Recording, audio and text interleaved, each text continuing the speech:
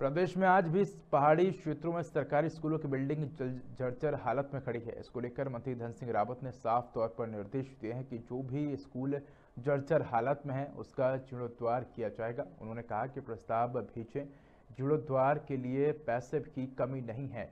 और तुरंत ही उसका जीर्णोद्वार कराया जाएगा। इसके साथ ही उन्होंने अवैध स्कूलों पर कार्रवाई करने की बात भी कही है।